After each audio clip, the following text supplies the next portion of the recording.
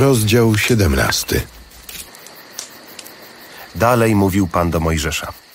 Przemów do Aarona, do jego synów i do wszystkich Izraelitów i powiedz im. Oto nakaz, który dał Pan. Witam serdecznie na kanale Zakochany w Biblii, gdzie wspólnie czytamy Biblię ze zrozumieniem. W poprzednich sześciu rozdziałach poznaliśmy kodeks czystości, który jest ascezą, jest wysiłkiem człowieka dla bycia gotowym do bycia porwanym przez Boga. W poprzednim rozdziale poznaliśmy coroczny rytuał Jom Kippur, który jest szczytem wszystkich rytuałów przebłagalnych i który jako jedyny pozwala na wymazanie nie tylko win, ale również przestępstw dzięki ofierze kozła wypędzonego na pustynię. Czystość rytualna nie jest celem samym w sobie, jest przygotowaniem na gody małżeńskie z Bogiem żywym, wolnym i świętym. Kodeks świętości zajmie dziewięć najbliższych rozdziałów, podczas których usłyszymy trzy razy uroczyste Boże wezwanie: Bądźcie świętymi, bo ja jestem święty, Pan Bóg Wasz. W pierwszej części Księgi Kapłańskiej przekonaliśmy się, że świętość pochodzi od Boga i płynie od ołtarza poprzez sakramenty. Droga do świętości prowadzi więc przez świątynię.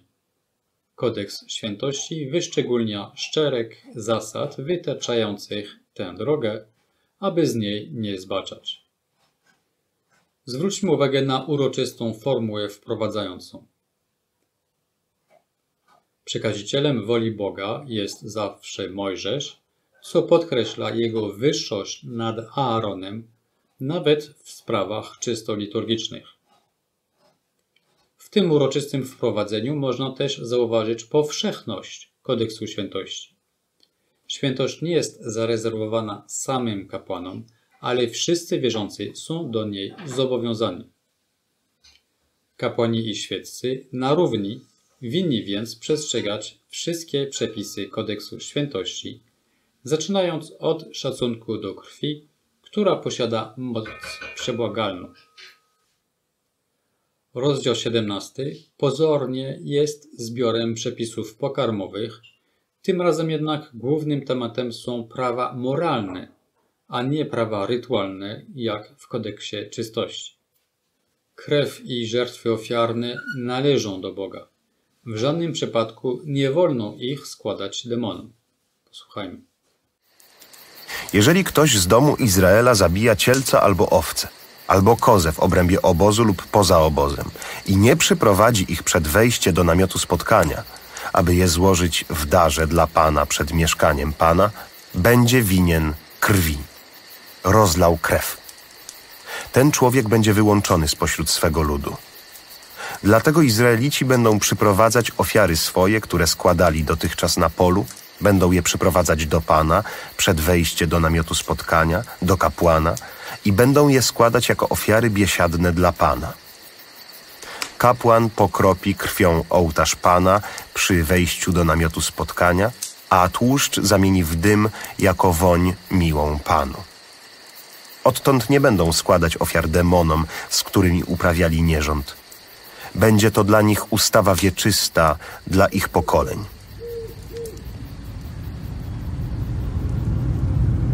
Dalej powiesz im, jeżeli ktoś z domu Izraela albo spośród przybyszów osiadłych wśród was będzie składał ofiarę całopalną albo inną ofiarę i nie przyprowadzi jej przed wejście do namiotu spotkania, aby ofiarować ją Panu, będzie wyłączony spośród swego ludu.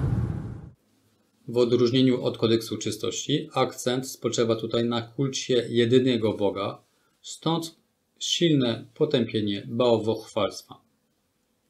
Krew ma wartość przebłagalną w ramach liturgii świątynnej. Kategorycznie zabrania się jej używania do innych celów, zwłaszcza do bałwochwalstwa. Zabronione jest składanie jakichkolwiek ofiar innemu bóstwu, jak to wyraźnie zaznaczają wersety od 7 do 9. Mylne są więc nagłówki w naszych tłumaczeniach, jakoby chodziło tutaj o wszelki ubój zwierząt. W oryginale użyty jest czasownik zażynanie, który odnosi się wyłącznie do aktów liturgicznych. W perspektywie świętości całe życie człowieka powinno być ukierunkowane na spotkanie z Bogiem za pośrednictwem ofiar świątynnych.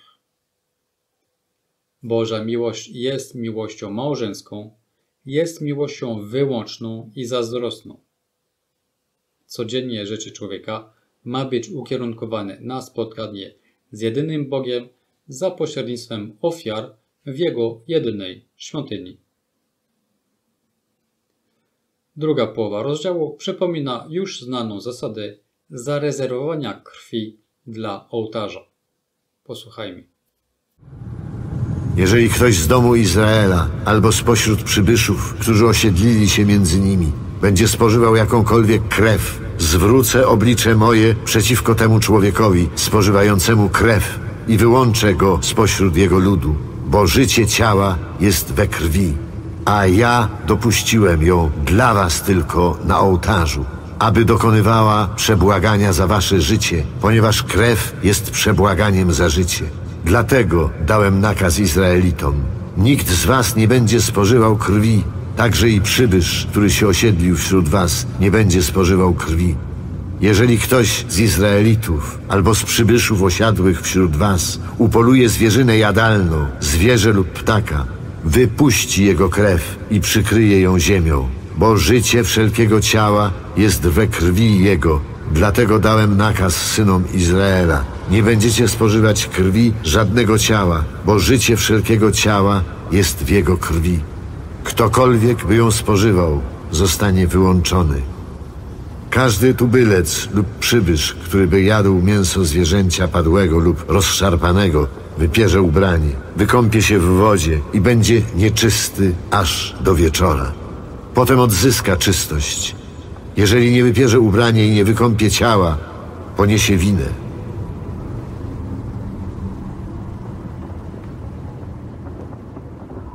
Jedenasty werset tłumaczy bardzo jasno, że nefesz, tchnienie życia, jest we krwi i jest wyłączną domeną Boga.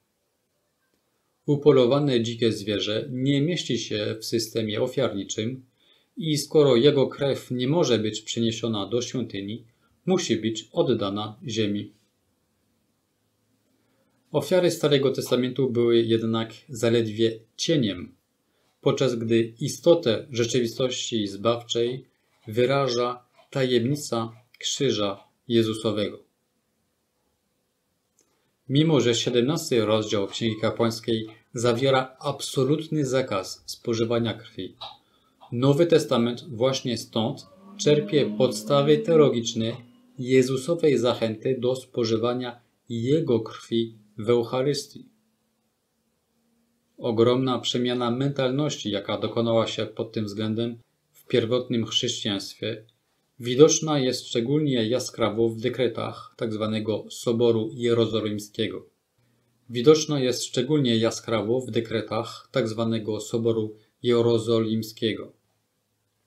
Do istotnych zobowiązań kultowych nawróconych z pogaństwa chrześcijan należało powstrzymanie się od tego, co uduszone i od krwi.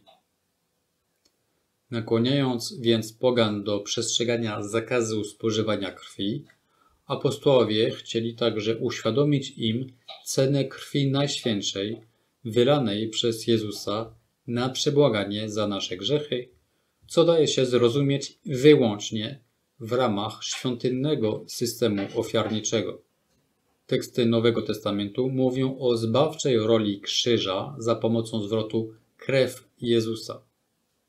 Śmierć Jezusa różni się w sposób zasadniczy od zwykłej śmierci. Jest ona ofiarą złożoną Ojcu za swój lud.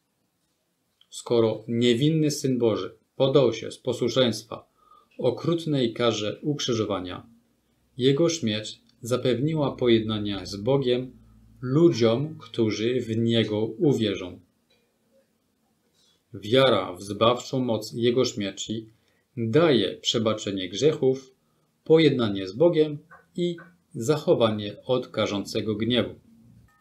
Zasługi Jezusowej śmierci pozwalają też wierzącym ostać się wobec ataków kosmicznego zła. Apokalipsa stwierdza, że ci, którzy przeszli przez ucisk, opłukali swe szaty i we krwi baranka je wybielili. Istotna różnica pomiędzy rytualną rolą krwi w Starym Testamencie a jej symboliką chrześcijańską uwydatnia się w sprawowaniu Eucharystii.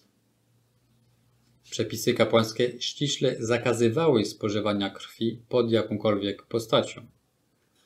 W Eucharystii jednak, będącej ucztą nowego przymierza, Jezus wybrał chleb i wino jako znaki zapowiadające ofiarę Jego ciała i krwi.